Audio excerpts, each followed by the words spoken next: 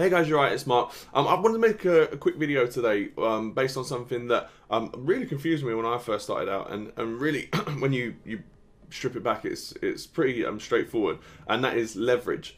Um, so essentially, leverage. I'm going to explain it um, in you know uh, the simplest way possible.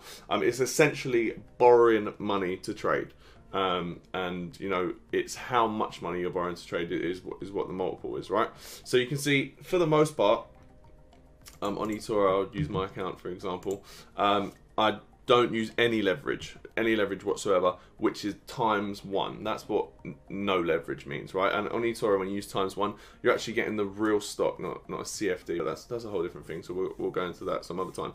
Um, but excuse me, yeah. So when it's times one, you're not borrowing any money. It's your money multiplied by one, which equals your money, right? But if we wanted to, I've got a couple of positions, ironically, which are in the red um, that I've got leveraged. Um, let's use this Tesla one, for example. Where is it? Where is it? There it is, CFD.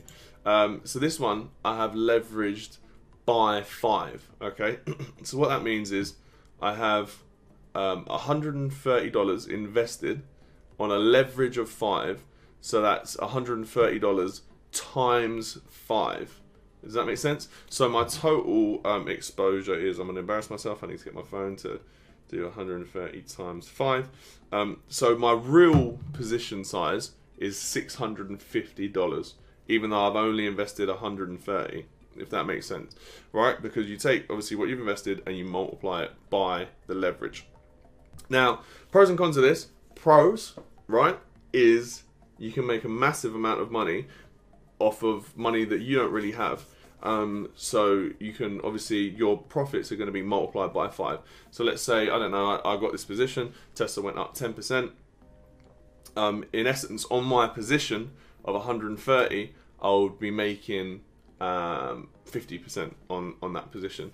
Um, but likewise, and as you can see here, um, if it was to go the other way, I lose as much money as if the position was much bigger. So I lose the money based on, on, on this example, um, over $600 or whatever that worked out to be 690 I can't remember. um, but I would lose money based on that, not the 130 So I would lose five times more money.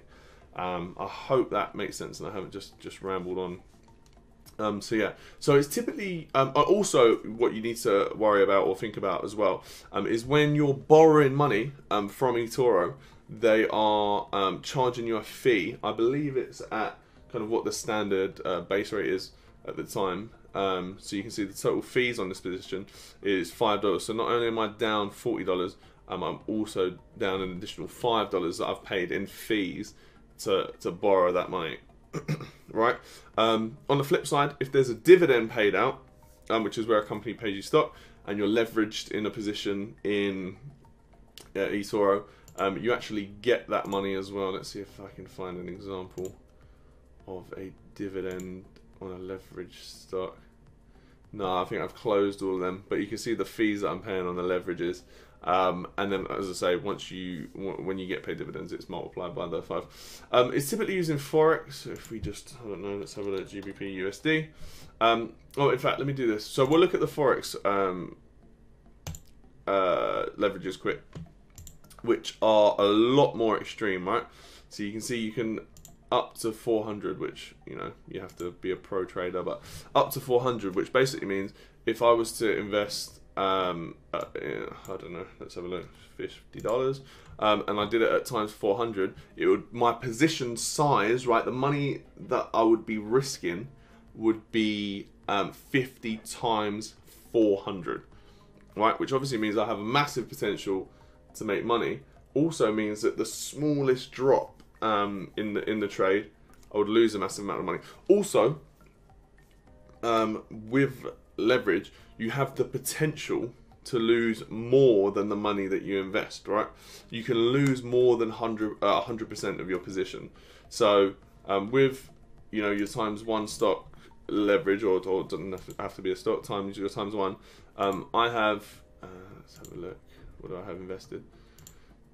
Let's just use one trade. So I have $50 invested. I can only lose $50 on that position because I haven't borrowed anyone's money. That's my money. And if it if the stock literally went to zero, I would lose fifty dollars, and obviously Facebook isn't going to go to zero, but just for for the sake of uh, example, um, if it went to zero, I would lose fifty dollars. However, if that was leveraged, right? So if this was leveraged by five, um, oh, we're getting into maths now. If it, if it was leveraged by five or ten, let's say, let's let's say ten because it'd be easier. If it was leveraged by ten, um, and then Facebook stock fell by ten percent, right? Rather than being down ten percent, I would be down hundred percent, and then I can add funds to hold that position and then obviously then I'm losing more money than my initial position. If that makes sense. Um, so basically, moral of the story, I thought I'd explain leverage. Leverage is, um, I think, one of the reasons why people start off losing, um, because it's, it's so finely balanced. It's almost like I don't know. It's it's just uh, you, you got to time the time. It's more about timing when you're using leverage. and the position's got to be just right um, you can see for the most part uh, on my recent trades, uh, let's have a look at my recent, um, it's all 1% or um, times 1 and that's just where I'm most comfortable and you don't have these massive swings like up 10%, down 10%, up 20%, down 50%. Um, and so if you're just starting out, and I've, I've done a video I'm about using 2% of your account. So if you're just starting out, if you use 2% of your account and times 1 uh, leverage on each trade, um, it's going to be you know a lot safer for you. You're going to lose a lot less money, um, and ultimately it's going to be more fun. You might make less money, but it's about being consistent. As you're consistent over time, you're growing your account. You got ten thousand, you're making two percent on uh, on a position or whatever, um, and then you you scale it and you scale it and you scale it, and then you've got hundred grand, and then you and then it's worth it. But anyway. Um, yeah, so I hope that was helpful. I hope that explained it a little bit. Um, if you guys enjoyed the video, make sure you like it. If you have any uh, questions at all, whack them in the comments, whether it be eToro or YouTube, you know. Um, but yeah, thanks for watching, guys, and I will catch you probably tomorrow.